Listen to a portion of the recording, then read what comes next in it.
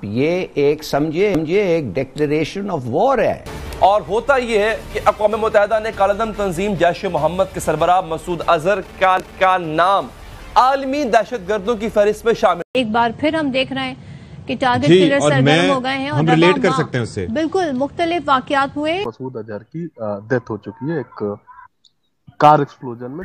आ, ये कहा गया है कि हालिया हाई प्रोफ़ाइल टारगेट किलिंग के पीछे भारतीय खुफिया एजेंसी रॉ मुलविस है। 2024 अ, का पहला दिन है आज और आज ही के दिन नई खबर आ रही है खुशखबरी आ रही है। और कई पाकिस्तानी वेबसाइट्स हैं जिन्होंने इस खबर को उठाया है और उनका कहना ये है कि मौलाना मसूद अजहर जो है वो पाकिस्तान में मारा गया है। कार में कह रहे हैं कि कोई बम ब्लास्ट हुआ है और जिसमें कि मसूद अजहर जो है अ, वो मारा गया है। बात निकलेगी तो फिर दूर तलक जाएगी और वो कहते हैं ना बात तो सच है मगर बात है रुसवाई की परवीन झाके ने जो कहा था।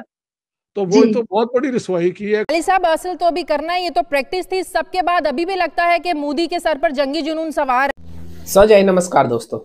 तो दोस्तों, मसूद अजहर को दोस्तों, सुबह सुबह पाकिस्तान के अंदर दोस्तों बम से उसकी गाड़ी को उड़ा दिया गया है और वो मर चुका है। हालाँकि दोस्तों, ये अभी तक पता नहीं चला कि ऐसा काम किया किसने। पर लोगों का मानना है कि ये कोई खुफिया एजेंट का काम है जिसने ये काम किया है। दोस्तों, जिसको अज, मसूद अजहर नहीं पता, मैं बता दूँ, ये वही दहशत गर्द है दोस्तों, जो आतंकवाद सिखाता है लोगों को, जो कश्मीर में जो हमला होते हैं, उनमें लोग तैयार करता है, आतंकी स्लीपर सेल्स तैयार करते हैं। और वहाँ पे कश्मीर में दहशत फैलाते रहते हैं। हालाँकि भारत ने इसको आतंकवादी घोषित कर दिया गया था, पर दोस्तों, पाकिस्तान के लोगों से पूछा गया तो दोस्तों, वो मना करते हैं। वो कहते हैं कि ये एक अच्छा आदमी है। हालाँकि पाकिस्तान तो बोलेगा कि पूरा पाकिस्तानी आतंकवाद का साथ देता है। पूरा पाकिस्तानी आतंकवादी है। हमेशा कोई ना कोई तैयार रहता है। गलत सलत मज़ारों में इनके सिखाते रहते हैं कि भाई ऐसा है ऐसा है, भारत सारे काफिर हैं तो उनको मारना ही है। हमारे बारे में गलत सलत सिखाते रहते हैं और वो वैसे तैयार होते रहते हैं। तो ज़्यादातर आप भारत भारत के बारे में पूछोगे पाकिस्तान के अंदर तो वो हमेशा यही राय देंगे कि भारत के लोग अच्छे नहीं होते क्योंकि बचपन से उनके मन में ऐसा भर दिया जाता है। और अभी ज़्यादा से ज़्यादा आतंकवादी वहीं से आते हैं, भारत के अंदर की तबाही मचाते हैं। नाक में दम कर देते हैं भारत की। और धीरे धीरे करके दोस्तों अब एक एक करके जितने भी पाकिस्तान के बड़े बड़े आतंकवादी थे दोस्तों सब मारे जा रहे हैं। दाऊद को जहर दे दिया गया अब इसको बम से उड़ा दिया गया है। हालाँकि ये एक एक करके और जितने भी है सबको धीरे धीरे खुफिया करके मार दिया जाएगा। इतना भारत के एजेंट है। तो दोस्तों आइए देखते हैं कि पाकिस्तान मीडिया इसके ऊपर क्या रिएक्शन देती है। जी अस्सलाम वालेकुम जी वालेकुम अस्सलाम जी प्रोफेसर ज़फ़र इकबाल है। मसूद अजहर को जानते हैं आप? बड़े अच्छे तरीके से जानता हूँ भावलपुर के रहने वाले हैं अच्छा। और माशाल्लाह वो जिहादी तंजीम के सरबराह हैं और अगेंस्ट इंडिया वो साउदर है जो ऑक्यूपाइड कश्मीर है जो मुजालिम जो ढालते हैं तो उनके अगेंस्ट साउदर है जो लोग हैं वो तैयार करते अच्छे हैं इंसान है। बहुत अच्छे इंसान अच्छा है। एक न्यूज़ आ रही है सुबह सुबह एक खबर आई है कि मसूद अजहर का यहाँ पे कोई बम ब्लास्ट हुआ है और कार ब्लास्ट में उनकी डेथ हो गई है। आपको इलम है इस बात का? नहीं इसका हमें तो नहीं इलम इस चीज़ का। अगर ये है तो वेरी सैड बहुत अच्छे इंसान बहुत अच्छे इंसान जिनकी अपनी ज़िंदगी जिन्होंने अपनी ज़िंदगी वक्फ कर दी कश्मीर के मुसलमानों के लिए उन पर ढाया गया जो मजालिम अच्छा मुझे ये आप बता दें कि ये इंडियन गवर्नमेंट या इंडियन मीडिया जो है इनके लिए मोस्ट वांटेड क्यों है मसूद अजहर? सावधर चूँकि एक मोनोपली है इंटरनेशनल इस्टेब्लिशमेंट की और वो अपने लिए सो कार्ड से कह सकते हैं कि जो ह्यूमैनिटीज़ का एक कॉन्सेप्ट रखते हैं तो उनको ये नहीं पता कि यहाँ कश्मीर में क्या हो रहा है, वहाँ पर ह्यूमन वायलेशन कितना ज़्यादा है। तो वो, जिनकी आवाज़ कोई नहीं बनता सावधर पाकिस्तान भी अपने एक लेवल पे बन रहा है, या मतलब उस तरह की एक जो स्ट्रगल है, कश्मीर को आज़ाद, आज़ादी दिलाने के लिए। तो जो मजालम ढह जा रहे हैं सावधर उनके लिए एक वो ट्रेन करके सावधर जिहादी तो ताकि वो किसी हद तक अपने कश्मीरियों की इसमें अगर आप देखें तो फ़लस्तीन को देख लें आप या कश्मीर को देख लें या जहाँ भी मुसलमानों पर मसाले बिठाए जा रहे हैं उसे लोग कभी भी कंसिडर नहीं करते कि वहाँ जुल्म हो रहा है।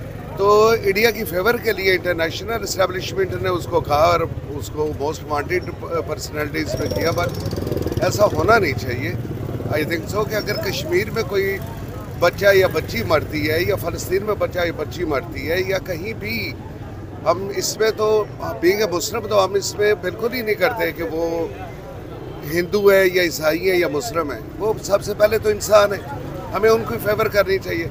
और मसूद अजहर साहब जो है वो डेफिनेट है कि अच्छे इंसान थे वो ह्यूमैनिटी के लिए कोशिश करते रहे। अच्छा लेकिन पाकिस्तानियों से मैंने जितना पूछा है मसूद अजहर के बारे में हमारे पाकिस्तानियों को क्यों नहीं पता फिर? इलम क्यों नहीं है असल में आज हाँ जी? वो टिकटॉकर से पाकिस्तानी टिकटॉकर्स हैं। हाँ नहीं नहीं देखें साहब जरे आजकल हमने ये हमारी सीधी सी बात है मेरा काम पढ़ने पढ़ाने से है। तो जो आजकल की जनरेशन है उनको नॉर्म एंड वैल्यूज़ और नहीं, ये नहीं मैंने काफ़ी एजेड लोगों से भी उनकी ओपिनियन मांगी है वो कह रहे हैं मसूद अजहर कौन है? आप हमें पहले ये बताएँ। वेरी सैड वेरी सैड अगर ये बात है तो ये गलत है। अभी कश्मीर की आवाज़ है आपको मसूद अजहर का पता है? मसूद अजहर नहीं पता। कश्मीर की आवाज़ है, कश्मीरी मजलूम लोगों की आवाज़ है। तो मेरे ख्याल में वो एक किरण एक रोशनी की किरण तो वेरी सैड अगर ये हुआ है। बारे में कहा जाता है कि टेरर ऑर्गेनाइजेशन चलाता है, उसके लिए जो है जी, जो न्यूज़ आई है अनकन्फर्म न्यूज़ है, मैं पहले बता दूँ, वरना पता लगा दाऊद इब्राहिम की न्यूज़ की तरह आप लोग दिल पे ले जाएँगे और उसके बाद मिनी हार्ट अटैक बहुत से लोगों को आ गया था। तो मैं ये बता दूँ कि जी यहाँ पर जी बताया जा रहा है कि जी वो बावलपुर से की मस्जिद से कहीं जा रहा था तो अननोन गनमैन की कहानी यहाँ पे फिर बताई जा रही है।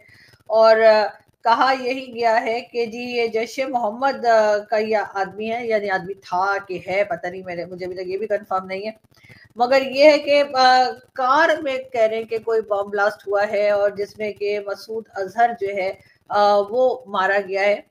और सुबह के पाँच बजे बताया जा रहा है, अब ये नहीं पता कि ये खबर कहाँ तक सही है। लेकिन बहरहाल ये न्यूज़ एक सोशल मीडिया पे चल रही है, कई वेबसाइट्स ने ये ये न्यूज़ उठाई है और कहा यह जा रहा है कि मौलाना मसूद अजहर जो है अ, वो मारा गया है। लेकिन अ, जैसे कि मैंने पहले कहा कि ये कंफर्म न्यूज़ नहीं है। वैसे कंफर्म न्यूज़ आएगी भी नहीं अगर आप लोग ये सोच रहे हैं कि पाकिस्तान की तरफ़ से या किसी तरफ़ से इस बात को बताया जाएगा या ये खबर निकलेगी तो ऐसा मुझे नहीं लगता।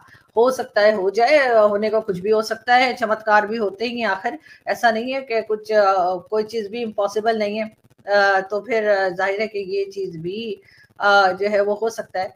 कि कंफर्म हो जाए किसी तरीके से लेकिन फ़िलहाल ये एक अनकंफर्म न्यूज़ है। कई वेबसाइट्स जो है सोशल मीडिया पे कई इंडियन वेबसाइट्स भी हैं और कई पाकिस्तानी वेबसाइट्स हैं जिन्होंने इस खबर को उठाया है और उनका कहना ये है कि मौलाना मसूद अजहर जो है वो पाकिस्तान में मारा गया है।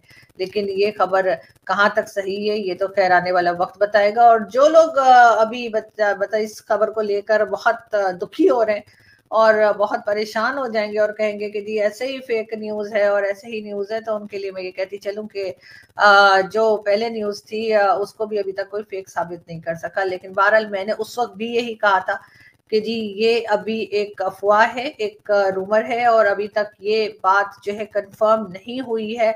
अब मैं दाऊद इब्राहिम की बात कर रही हूँ। कि वो खबर भी मैंने कहा था कि अभी कंफर्म नहीं है लेकिन इस तरह से ये खबर चल रही है। उसके बाद इंटरनेट भी डाउन किया गया था पाकिस्तान में बारह घंटे डाउन भी रहा। लेकिन न, जाने बहुत से लोगों को जो है वो इस बात से क्यों इतना दुख पहुँचा कि वो बेचारे शदीद तौर पे दुखी होकर और उन्होंने जो है वो आ, सोशल मीडिया पे भी मेरा पीछा पकड़ लिया और मेरे लिए वीडियोस भी बना ली। चलो